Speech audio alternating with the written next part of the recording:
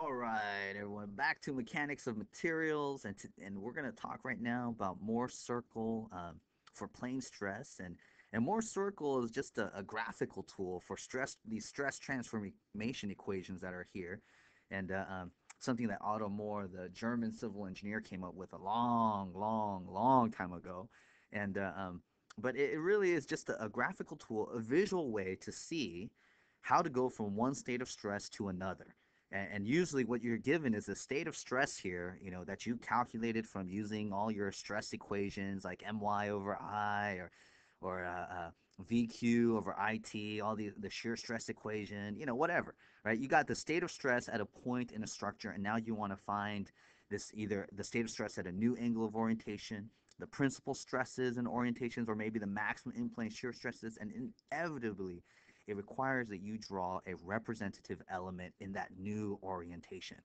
And uh, um, circle is, is a nice way to visualize all this and, and come up with, and that way you don't have to memorize any equations or anything. And if you understand it, really you can transform any any state of stress from any angle of orientation to another one. Um, and but you really, you know, the principal stresses and maximum in-plane stresses, those maxes are, are important to us because they'll tell us things about like cracking behavior of a structure or or uh, um, or you know just how to design for for a specific state of stress. So here, you know, normally we have this given state of stress here uh, that we calculated, and, and let's talk about how we would construct Mohr circle from that. So here, let's let's going down over here. We've got this state of stress, and I've got, let's say I, I draw here some some stress value, some normal stress here, some shear stress condition that causes this, this, and this. Okay, and then some stress, some normal stress here and here, just to to make sure that we have equilibrium. And uh, one thing I want you to notice that, hey, I didn't establish any coordinate system. I didn't label anything, sigma x, sigma y, okay? These are essentially just numbers indicating a state of stress at this representative volume element. And really the first thing that you need to do here is, one, is establish a coordinate system, okay? Establish a coordinate system for your given state of stress. Okay, establish this coordinate system. So here, we'll we'll start off simple. We'll we'll do a base, and this is the way you should normally do it, right? But here is like, here is I'll I'll, i I'll call this my plus x direction, this my plus y. Okay, and and here then now I can assign labels to each of these these this normal stress component is this is a normal stress in the x direction, so I will call this sigma x. And then here, this is my uh, normal stress in the y direction here. And here, this, based on my coordinate system, this shear stress is a positive shear stress because it's on the plus x face in the plus y direction. And, you know, I can look at the same thing here, plus y face in the plus y direction. You know, positive times a positive is a positive. Here, it's a negative y face in the negative x direction. Negative times a negative is a positive. So this is, according to my coordinate system, this is a a positive shear stress condition. So I, I established this coordinate system. Two, two is I want to determine the center of Mohr circle. And that center of Mohr circle, you know, is this center point is um, essentially sigma average comma zero in a in a sigma tau coordinate system okay that you're going to draw for Mohr circle but but the center is just the average stress. So the sigma average is just sigma x plus sigma y divided by 2 comma 0 and it's and you know in plane stress and and and even 3d stress this is you know it's always 0 okay? The center of the circle always rests on the the sigma axis. So now what we want to do is now that we know the point for the center we want to draw draw the coordinate system. Draw sigma tau coordinate system. Okay, coordinate system and and and draw and draw and and draw the center point. Okay, the center point. So here, if I if I'm doing that here, okay, once I've established my coordinate system, I've got this uh, um, this here. Let's I'm going to draw my coordinate system. Let's say I have here uh, la la la. Let's do here right here, okay?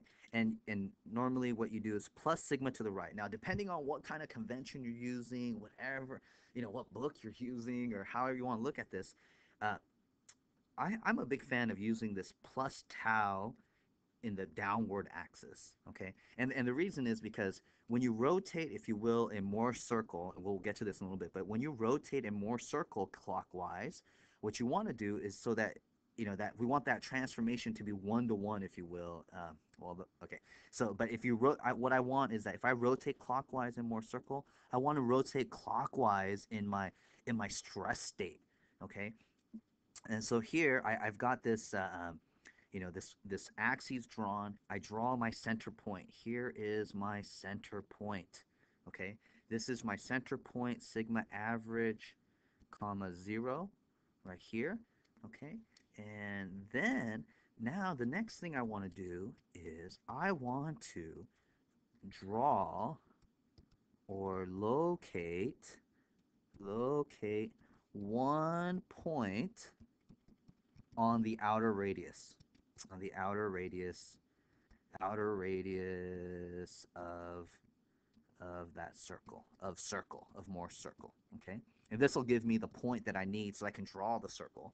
But here I've got a um, let's say I've got here and that outer point you know a lot you know that point A we'll call it point A is just uh, um, uh, sigma x comma tau xy. The values that are up here in this state of stress up here okay you just we just take them directly to this point right here. So this this would just be hey sigma x hey hey hey sigma x would be you know some number let's say oh let's say it's, it's just the way let's make this look kind of real here let's say it's like uh, over here sigma x plus sigma y divided by 2 oh let's just say it's over here okay it's some number over here and in the plus tau xy so this is point a uh, point a point A with sigma x comma tau xy.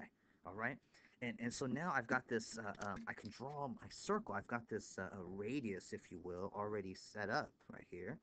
The radius of it, which I go, oh, oops, okay, which I go like this right here. There, there is my one arm, and I just swing that all the way around 360 to make a circle. And can I even do this? Let's see, I, I think I've got something here that's about the same size see if that that works. Oh, shoot! If I had a steadier hand, I would be a maybe a professional artist. Oh, snap!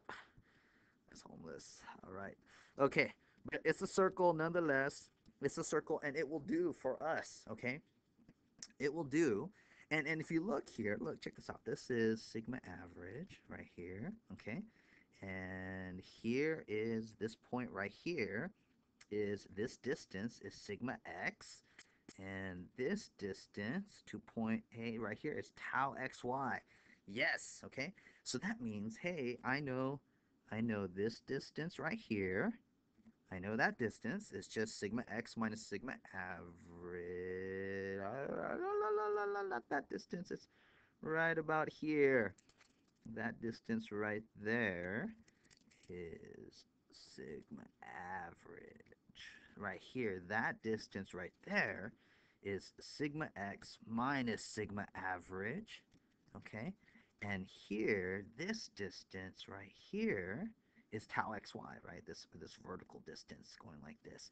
And I essentially have a triangle. And if I want the radius of this right here, this radius, then I just have to do, you know, for the triangle, Pythagorean theorem, square root of sum squares, this radius, which would be, I guess, step five, calculate the radius. Five, calculate radius right here. And uh, um, you calculate this radius and you've got, uh, what is this? This would be sigma x minus sigma average squared plus tau xy squared. Okay, and that's the, the radius of the circle. That's great, right? And that, that, that means once you know the radius of the circle and you know this dimension, you can also calculate this angle right here. Okay, and, and, and look at this. The maximum princ- the maximum stresses or the maximum normal stresses are, are this point right here, and the um, minimum would be this one right here. Okay, these two endpoints. And this is these are our principal stresses, sigma 1, sigma 2, and then our maximum shear stresses would be up here or up down here. This would be tau max.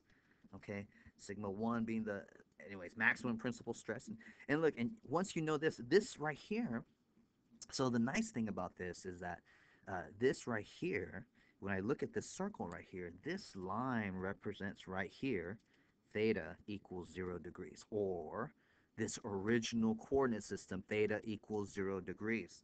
And if I want to get to my maximum principal stresses, I go this angle, this angle right here in, in Mohr circle, if I go, if I rotate, um, what is this, Whoa, counterclockwise in Mohr circle, then I'm going to rotate this, my state of stress counterclockwise, and that's going to give me a, a state of principal stress there.